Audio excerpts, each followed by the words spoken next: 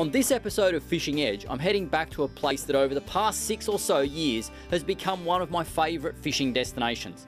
Lakes Entrance, or Lakes as it's often referred to, is a genuine seaside town that lies an easy four hour drive from Melbourne and offers loads of fishing opportunities for everything from snapper and kingfish offshore to bream, flathead, and prawns in the estuaries. Lakes Entrance is also Southeast Australia's largest fishing port, which processes around 7,000 tonnes each year. By international standards, this is a tiny amount of fish, but within Australia, it is quite significant. The Lakes Entrance Cooperative is owned by fishermen and charges a per kilo rate to handle fish that is sufficient only to cover costs and break even. Vessels berth at the cooperative where an automated belt takes the fish to an area where it is de-iced, weighed, labelled and then re-iced before being loaded onto a truck that takes the fish either to Melbourne or Sydney fish markets. The largest fishery landing in the cooperative is the $50 million 12,000 tonne southeast trawl fishery, SETF, and Lakes Entrance is its major port. The exact weight of fish landed from this fishery flow electronically from the cooperative scales into the AFMA database.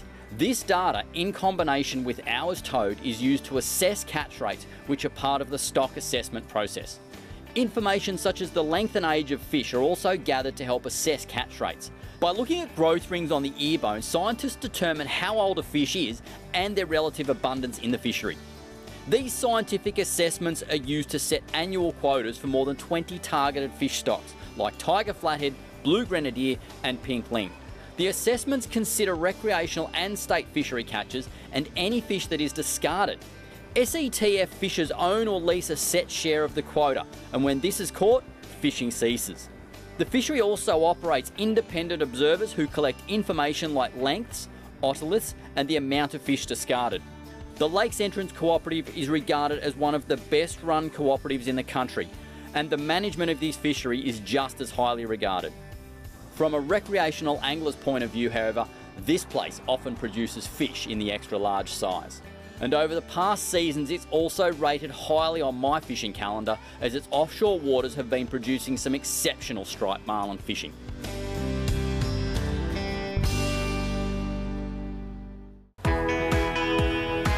On this trip, I'm heading out fishing with two of my mates, whom I generally fish with on a day to day basis when I'm not filming.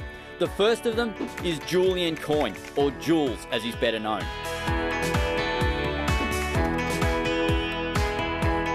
The second person is Lee McDuffie, my shop manager and a good mate.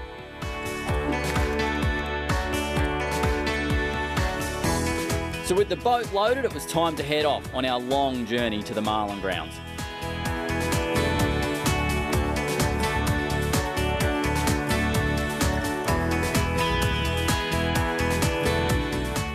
All about making the most of your fishing, conserving fuel, getting to the fishing spot and getting home. We've run 70 kilometres offshore and although it's dead flat conditions, we just run out at a beautiful 24, 25 knots because I know then I'm burning about 25 litres of fuel per hour.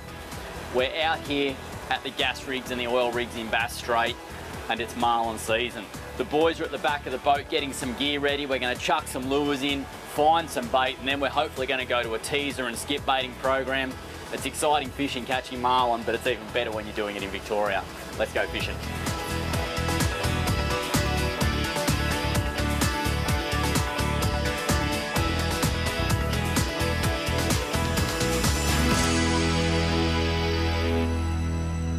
Now, Jules, we're out here chasing marlin, and a few years ago, it was just a pipe dream. Yep. But a couple of years ago, well, last season, you and I had some wonderful fishing out here. I've seen great fishing, Lee, and hopefully um, the conditions are good today. We've got the weather. Yep. Water looks great.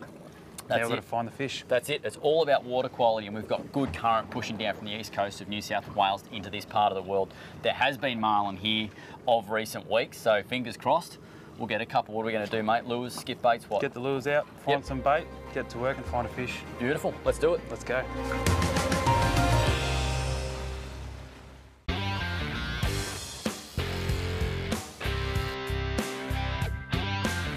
The whole idea of what we're doing here is searching. We need to try and find where the bait is because in marlin fishing, you find the bait, you find the fish. It's a pretty simple sort of formula. The lures we're running aren't overly large. This is a favourite of mine. It's a Marlin Magic baby hardhead in Lumo. This guy's caught me several big bluefin and a whole pile of marlin. That leader's even got a little scuff on it from the last fish I got a couple of weeks ago. The trick to lure fishing for marlin, small, ultra sharp little hooks, not big heavy gauge ones, and light tackle like this 15 kilo Makaira setup.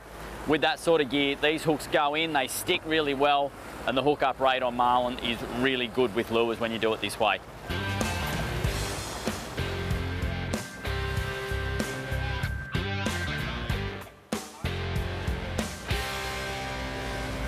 The gear's in the water, so it's time to now tweak the sounder. It's reading beautifully as it is, but if we change a few settings, we're gonna get the best out of it. So I'm gonna show you how we're gonna do it for today. To start with, I'm going to adjust my TVG, time variable gain. That will clear up a lot of your surface clutter and it's really interesting. The deeper the water, you'll often have it up a bit higher. Back in snapper season, you know, shallow water, I'll have it down low. So here I'm probably going to go straight into, we go to advanced, we go to TVG, it's on five. Watch this, if we go to six, we're dropping down that clutter. See, it's bringing this top half of the screen very, very clear. I still want a bit, so I reckon at the moment five or six is pretty good. We might end up changing that through the day, but for now that's beautiful. Scroll speeds at times three, ping speed's still quite high at 18 because we're only in 60 metres of water here marlin fishing. There's a heap of bait, boys. Drop the bait jig. While they're doing that, that's beautiful. Uh, 30 to 50 metres, mate. Beautiful patch of bait. we get this, we'll take this gain out of auto. We're now into manual and I'll just pull that back a little bit because there's a fair bit of clutter at the moment. So that is a big patch of slimy mackerel, just what we're after.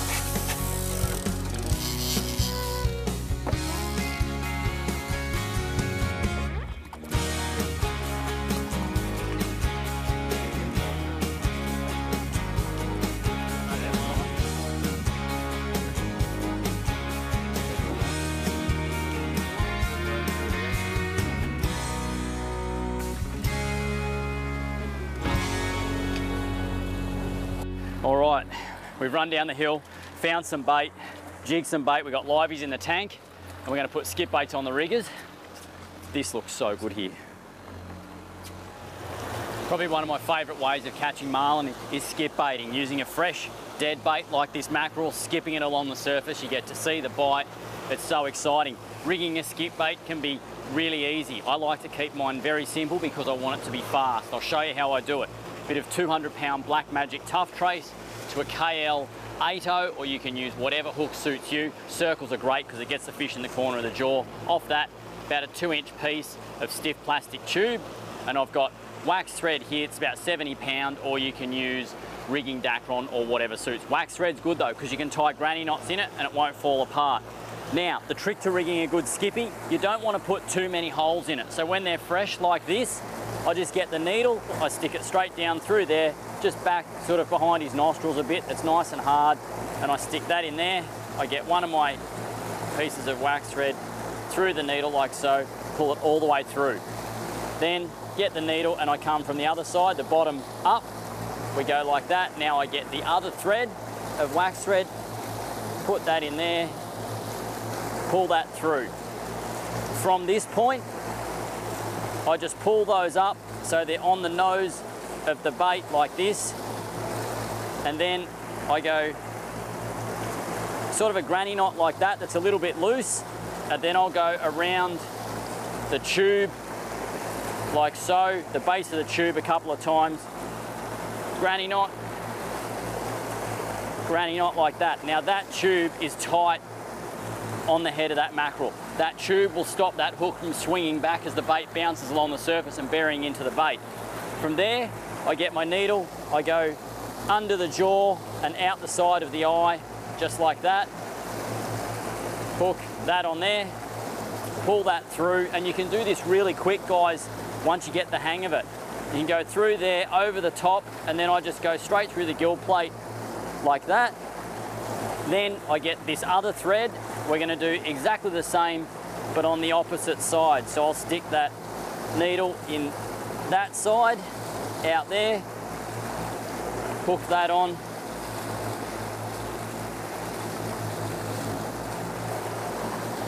Go across there, Then I've made a cross over the top of the fish's head.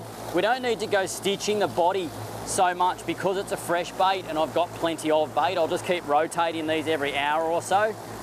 And for now, that's nice and tight. It's a very fast way to rig a bait.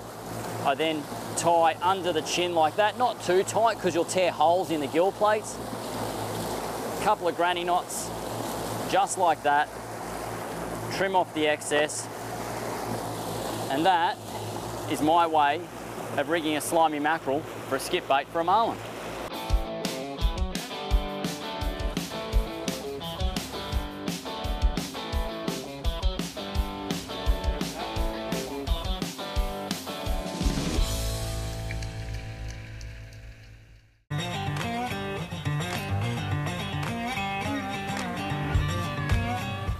Really close to these oil rigs, and this one over here is halibut. Uh, the only problem is you can't go too close to them. There's a 500 metre exclusion zone around the outside of them. If you have a look on your GPS, you'll see a thin red line that goes around them. Stick on the outside of that and you should be fine. We're constantly trying to stock up more bait. There's not loads and loads of bait through this area. We're finding little patches. So whenever we do, we just stop, the boys reverse really quick, you drop the bait jig straight over the side and hopefully load up on a string of mackerel. The key to doing it is having not too much gear in the water. We've got two skip baits on the riggers, the two teasers there. We can get everything out of the way just so quickly to do this. If you've got too much gear, you'll have tangles and mess and all sorts of stuff.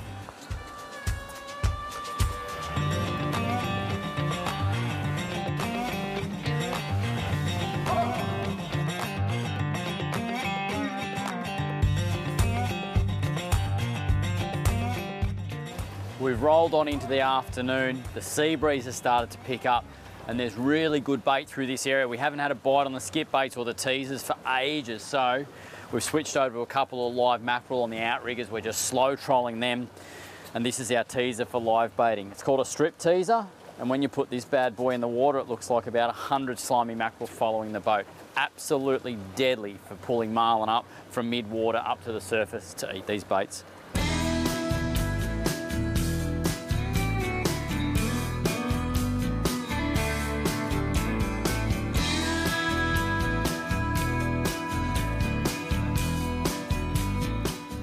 Lee's just put the teasers in the water.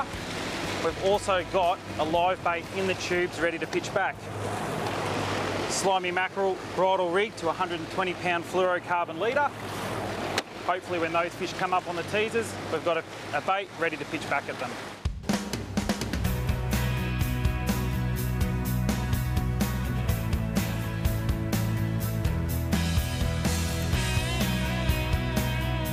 Come into an area here and there's a lot of life, a lot of albatross around and up ahead. There's a couple of seals, an albatross sitting in one patch. They've got a bait ball pushed up to the surface.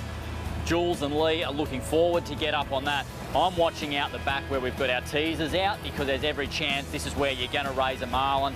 Then we'll make that switch, pull the teaser in, throw the live bait that's sitting in that tube and get the hook up.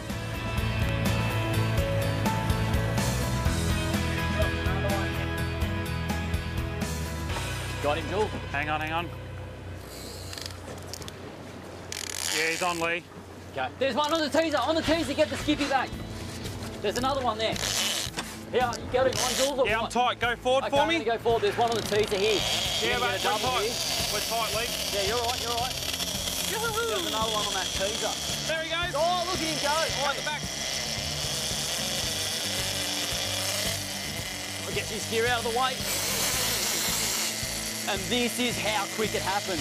A change of plans. We've been chasing water all morning. We've peeled back down south. We ripped the gear in. Look at that fish go.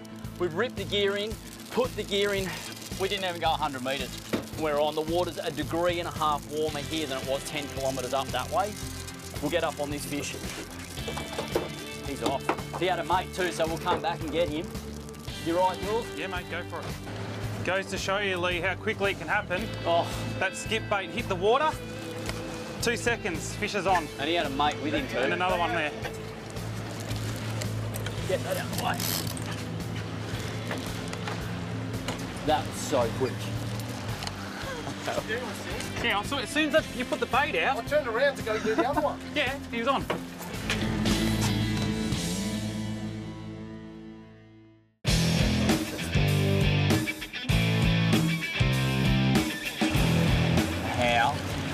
Unbelievable, is it, to be catching them right near a gas rig. That Fortescue rig is part of what's called Central Block out here off Lakes Entrance. You've got halibut, Fortescue and cobia rig. Glass calm seas, Four hours from home. unbelievable. That fishing Jules and I had here last year, you know, we, we both said to catch one in Victoria would be amazing. And there's been a lot of marlin caught here, don't get me wrong, we're not the first to do it, but the fishing we found last year when it was right was as hot a striped marlin fishing as you could ever have. The only reason Jules and I didn't catch more than three or four in a day was because they were big and two of us just couldn't land them quick enough. We had a lot of fun lot trying to fun. catch the ones that we did, but We did. it was mayhem at times. You're right there, dude. The gear Jules is using is just ideal for catching these striped marlin. Oh, I think he's going to jump. Come up, he's gonna come jump. up. He's going to come up out the back here. Here he comes. There he goes. Look at him go. Oh, oh, oh. Forward for How good is it in this weather? Just a little. That's it. That's it. Just We're a little, tight. mate, that's it. Head shake. See that rod bouncing. Back up now, Duff. Back up. The gear Jules has got is a 15 kilo outfit. It's a little custom built. Oi, look at him go. Little custom built rod of mine. Makaira 30 reel, 15 kilo Black Magic IGFA line, and it's just ideal for this sort of fishing. Look at him go. He's coming towards us. Here he comes. Whew. It's cool being so calm. You can see him like changing direction under the water. There he is. Nice work, Jules. Because all we're doing here is just backing down on this fish. The whole idea is A, we want to catch him, but we want to catch this fish as quick as we can because there was another one that came up on the teaser while this fish was hooked up. So we're going to work this area and hopefully get his mate or possibly his 10 other mates that will also be in this area. So at the moment we've got Lee just driving the boat forward, creating a little bit of line pressure in that water. Hopefully that'll bring his head up a little bit quicker for us. And Lee can uh, put a tag in the fish.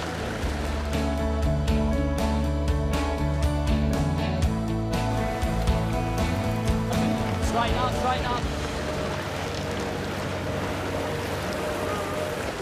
Yeah, Tags well done, in. Lee.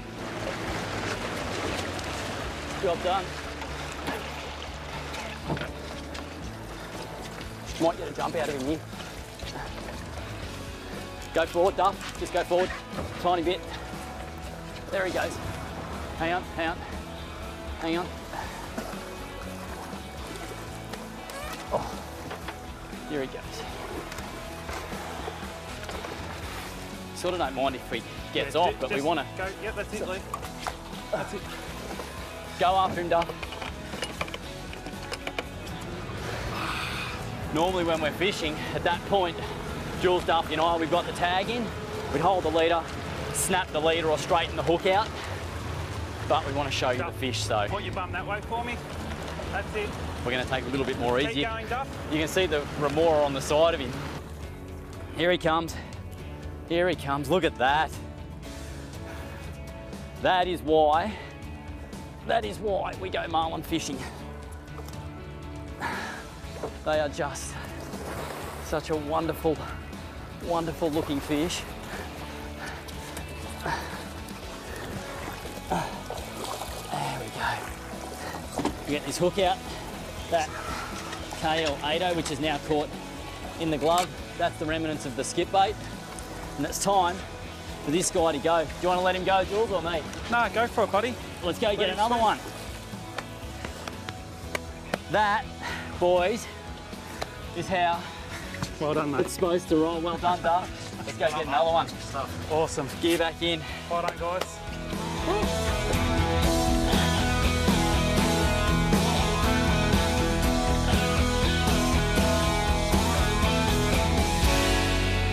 Unfortunately, our sea breeze from the southeast has swung to the southwest and let go at 20 knots. It probably doesn't look like it through the camera, but trust me, it is. Duffy's all rugged up in the wet weather gear for one very good reason. The waves have been crashing over the side of the boat. However, it started off as a beautiful day. We got our marlin, and that's what we came to do. Marlin fishing in Victoria.